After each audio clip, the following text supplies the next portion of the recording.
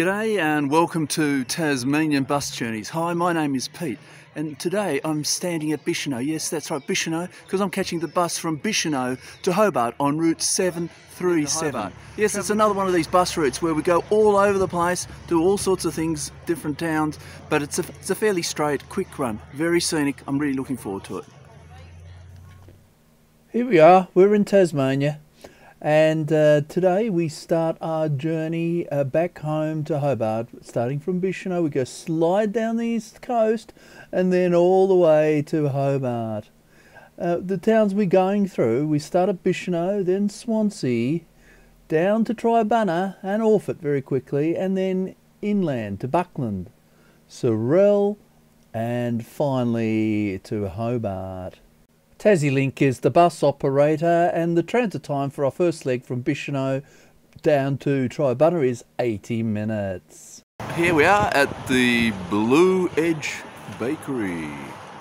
Great place for breakfast, nicely timed so you can catch the early morning bus. Come here to the bakery, have your brekkie, coffee as well, then get on to the bus from Bicheno to Hobart. Yay!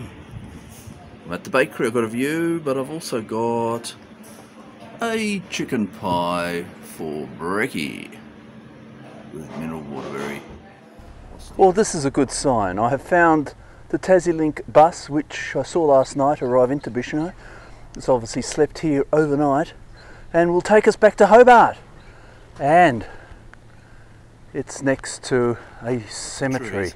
And you can see the main road right down the bottom behind. The Tassielink bus here comes our bus service, the 737 service from Bicheno to Hobart. Uh, and today's driver is Joe, who lives locally and he does a great job over the three hour trip. And off we go, nicely uh, on time. Uh, and we leave Bicheno. Bicheno, very pleasant place. I've shown in my last video. About a thousand people live in Bicheno. Uh, and certainly a lovely place to uh, visit by the seaside.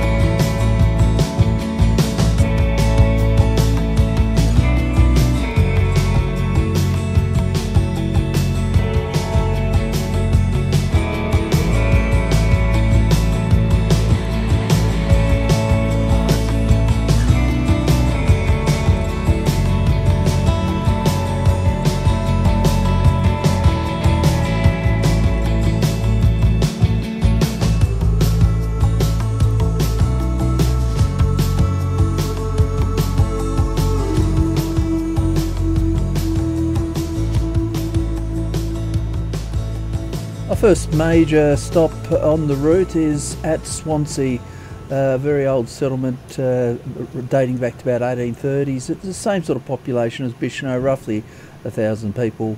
And on school days, there's an additional bus that goes from Swansea to uh, Hobart, which is useful.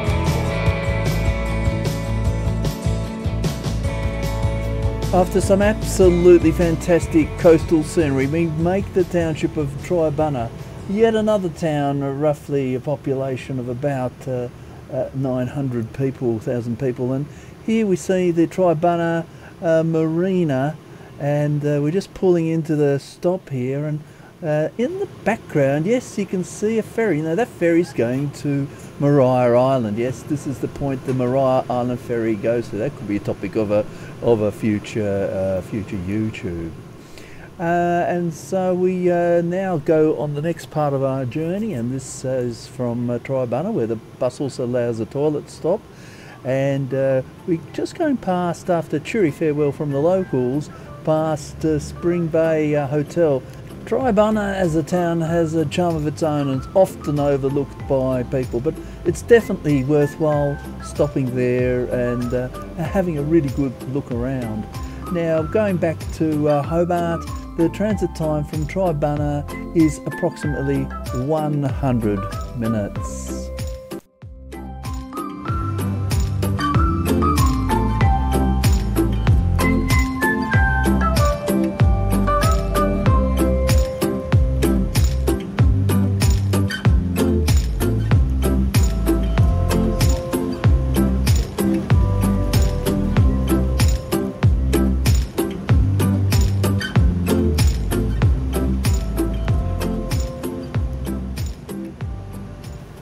So here you can see in the distance Maria Island. Yes, that's where the ferry from Triabunna was heading to.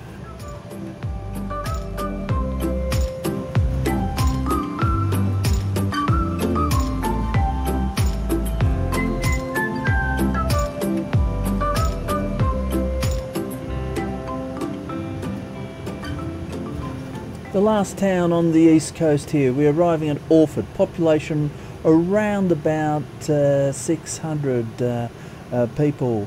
And uh, as we pull into the stop at uh, Orford, we swing over and have a look at the Prosser River. This is quite a, a beautiful river which runs uh, down to past Orford to the east coast.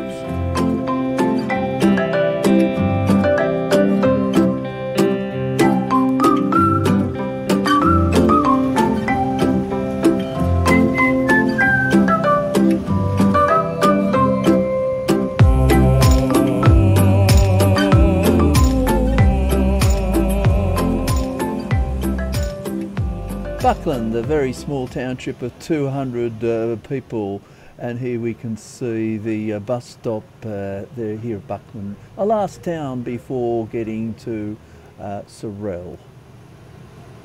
Next stop, Sorell. This this is uh, outer town of Hobart, about two and a half thousand people in Sorell and a lot of people live there nowadays. And look, you can just see the old Sorell railway station. Yes, it closed in 1926. There was a railway uh, from Bellerive to Sorell, and now we're sweeping into the more modern uh, park and ride uh, facility here at Sorell. It is a sad day, so it's not that busy.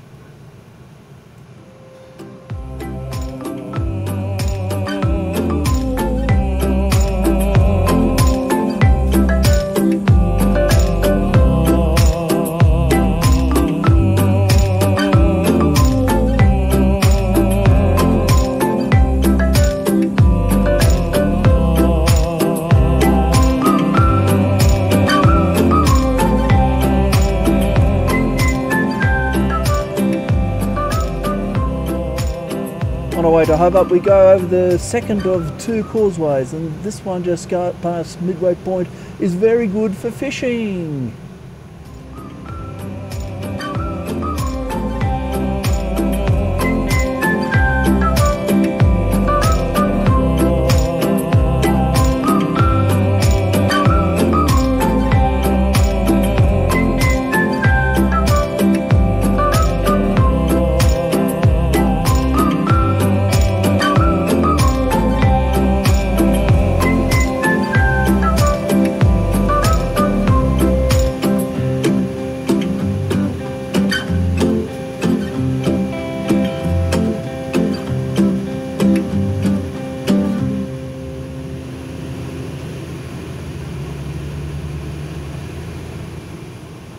We're crossing the mighty Derwent River. We're going up the Tasman Bridge, which is a real icon of Hobart. It's this great construction over the river and it goes up and then uh, we come down. This bridge was built in 1964. It spans about 1,395 um, metres and you can just see as we swing around you can just see the, the, the nature of the bridge. It allows uh, boats to pass underneath the bridge without having a complicated mechanism to, to pull the bridge up. In Hobart CBD now, another icon. It's the old Hobart Railway Station. There it is. And now it forms a special uh, role in our community because it is the ABC Centre.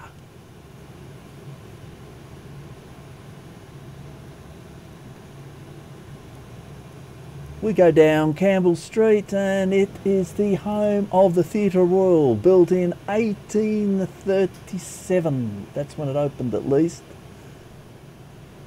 And finally in the bus mall in Hobart, we see our beloved GPO. This was built in 1905 uh, and is a, another major feature um, of our Hobart landscape. Well, it's been an incredible three hours. We pulled into the town hall terminus there from the service from Bicheno to Hobart. It's been great. Joe's going to go and have a well-deserved lunch. Our last uh, image uh, of Hobart here I'll leave you with is the Hydroelectric Commission building built in 1838 and I've worked there. Okay, so the frequency of the service. It goes every day, which is good. At always the same time from Bicheno to Hobart at 8.45. It even runs on Christmas Day. There's an additional service that leaves from Swansea. That goes on school days. That's at 6, 6 a.m. Now coming back, and this good if you want to go to Bicheno, there's a service that leaves Hobart at 4 o'clock. Great um, during the summer, but in the winter, of course, it's dark for most of the run. So do catch it in the summer. There's an additional service at uh, 2.30. Well, if you enjoyed this uh, video, please consider liking and subscribing. We'll see you next time. Keep the comments coming.